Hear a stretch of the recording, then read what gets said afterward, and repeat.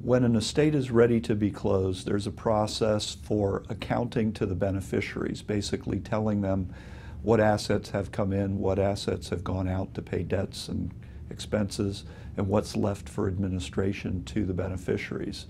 Um, that accounting, however, can be waived if everybody's in agreement.